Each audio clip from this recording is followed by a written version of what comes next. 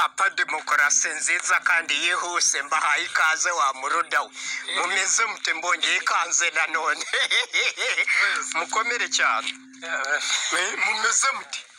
Mumeze mute politike tuyigezeze haruguru no hasi no hepfo n'inyuma y'urugo n'imbere y'amarembo. Ku marembo hose urumva? Eh, turakinga rugakomera n'abakingura. Ngo baribwaribwa ahubwo ruranabafata ntibaribwaribwa gusa.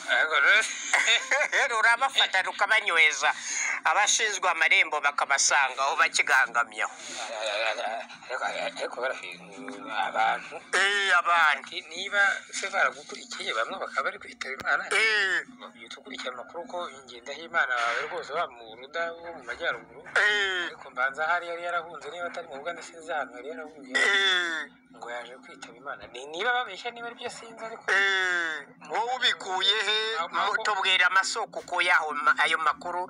Ngendahimana david witabye imana. Uyakuye he? Yitabye imana. Ku buhe buryo mu kahe katsi ku buhe butaka?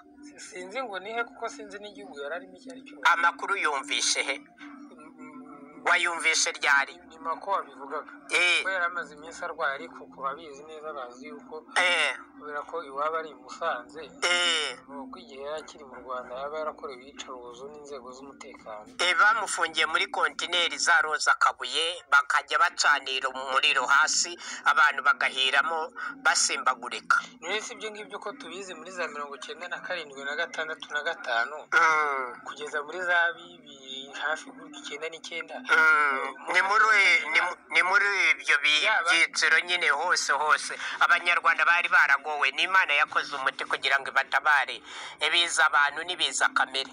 By'ako kageni gukurikiranye nyuma y'imyaka yose akaba ari bwo bimuhitana. Eh, birumvikana. Ngese ntujya ureba uburyo uburozi bankubise ukuntu bi- bingaragura ukuntu bingenza. Ni ukuvuga bingaruka. bariya batekinisiye kugira ngo bashobore kukwetsa urubozo. Bakabikamo utuntu tuzagenda tukwitsa Sumu, ugenda urangira isabune nka bombo nka buji. Ariko uzashira urangira. E- ese upfa buhoro buhoro. urangira. munsi nita ko Eh, bamwe babona yuko nta kintu iba imaze ku ruhande rumwe niba bashobora kuba bakoresha ubwo burozi nk'ubwo bica abantu bazi yuko bafunze barenganye kandi bafite icyo babikoraho Mm. kandi bazi yuko ubwo burozi babatera ntabwo waba muri ziriya nzu zabo babikamo abantu mm. ngo ubure n'akantu na kamwe bagukorera kabi kazatuma bo baregeye barakaregeye Eh, bazi ngo igihe iki n'iki n'iki. Eh, hari abakurwa amenyo eh. hari abimwa ibyo kurya hari abahabwa ibiryo bigaze hari abashirirwamo amavuta peteroli peteroli mu mvungure hari abirirwa iyo peteroli rero iyo igeze mu mubiri mu maraso igasa mu urabona digestive system ibiryo uburyo umubiri ubinyunyuza ukabishyira muri sisitemu y'amazi n'amaraso bigatembereramo Bikiyungurura. iyo umubiri unyunyurijemo na, ya peteroli ya peteroli igendera mu mazi no mu maraso yagera ku bwonko umuntu ah, ugasanga yaracanganyikiwe no gusara none ugasanga bamujyanye indera ngo yarasaze hakakuzamo n'urupfu nyuma njyewe mhm, yego.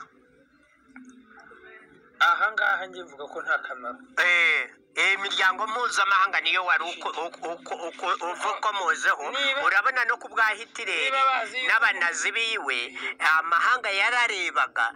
Ariko eh, bakabura uko bahita bafata ibyemezo ako kanya ariko yaje kubivumbura nyuma amabara n'amahano hitireri amaze kuyateza. Niyo mpamvu umuryango w'abibumbye Ufite umumaro. ku isi security council. Kongerewe ubushobozi n'imbaraga kugira ngo aho bizajya binugwanugwa bivugwa habeho ba karabara babo muri icyo gihugu n'abo mpuzamahanga noneho bose ba- bahuriza kuri raporo zimwe ku bunararibonye bumwe noneho hakagira igifatwa. Niyo mpamvu ujya ubona nka gadafi yavuyeho nka sadamu hussein yavuyeho nka mombute yavuyeho idi amini dada yavuyeho abyara yavuyeho eh, bashiri muri sudani yavuyeho tunisiya benari yavuyeho mubaraka muri misiri yavuyeho wabonye mm, muri cyade ejo bundi ntawe bafomuye aha byarabananiye enderisi debi byananiranye kuko amateka arahari nimba ingoma karinga nganzi yategetse u rwanda imyaka igihumbi magana atandatu mirongo itanu yaravuye igasimburwa na repubulika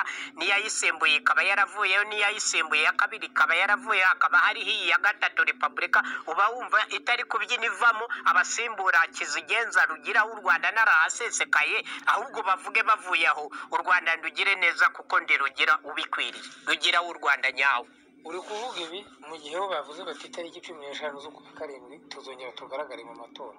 Kandi tariki cumi n'enye z'ukwa karindwi mu- muri diaspora twe twarabateguje kubera dufite purani b. Nibatemera ba mukeba bacu ko dushiraho leta y'inzibacyuho nkayiyobora imyaka itanu ikazaba ariyo itegura amatora bagashaka kwisuka no kwisukira amatora kumara ingengo y'imari kandi bazi neza rubanda bararubwiye ngo nibiva mu matora biba bizwi babyina mbere y'umuziki niyo mpamvu ubona no ku masite y'amatora haba harimo indirimbo za fpr inkotanyi kandi biyamamariza no ku masite y'amatora kandi abandi barabahagaritse mbere y'umunsi umwe mbere y'uko amatora aba.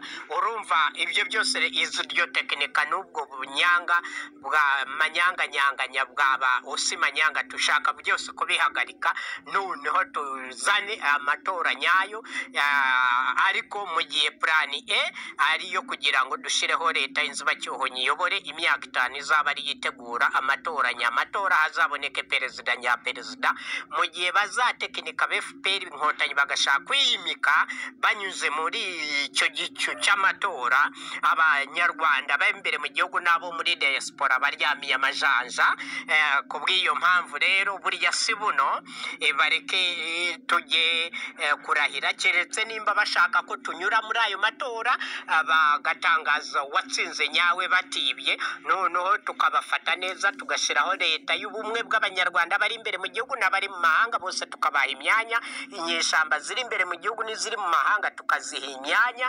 Abanyapolitike batavuga rumwe na fpr inkotanyi bari imbere mu gihugu n'aba mu mahanga bose tukabaha imyanya na fpr inkotanyi nyirizina nabo tukabaha imyanya. Tugashinga the international eh, government of unity kuko tuzaba turi abanyarwanda duturutse impinga zose impande enye. Inguni enye z'isi yose niyo mpamvu izaba international government of unity. Eh, iyo ni imyitozo iza bayihaye Eh. nta vangura ririmo eh, ni koko niko bimeze. Ariko baribaza bati se mm, ko hari ikibazo umaze imyaka itatu ubaza eh, ese eh, ko atagaragara? Mm, eh, ho yakagombye kuba agaragara ngaho iminsi mikuru ngaho eh, Uravuga Paul. ntacyo wenda barabitangazaho n'ubwo Pike. uko ababivuga mwese mm. nta shingiro bifite. Eh, oya ishingiro rirafite kuko Ngendahimana david apfuye yarabitangaje kandi n'isi yose icyo gisubizo batarakibonera icyo kibazo batarakibonera igisubizo. Ngendahimana rero apfuye asigiye abantu ikivi gikomeye cyane ubwo abe fpr inkotanyi bagomba kugisubiza ah, bakagaragaza abantu babo bose ko bahari. Yaba david ndahiro eh, akagaragara na paul kagame akagaragara abanyarwanda bakababona bose ko bahari.